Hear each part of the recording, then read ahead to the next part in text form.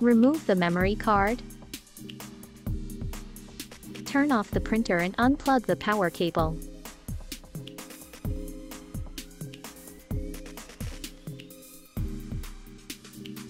Lay the printer down. Remove the six screws. Open the protective cover on the bottom of the printer. A Wi-Fi module will be pasted here.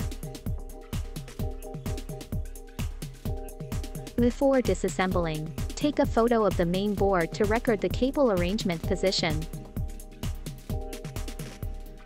Because the cable on the left is easy to be confused.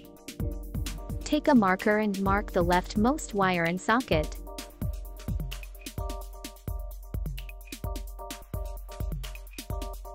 Unplug the four white wires first. Open the protection cover, loosen the two screws. Remove the red and black wires, unplug the rainbow cable.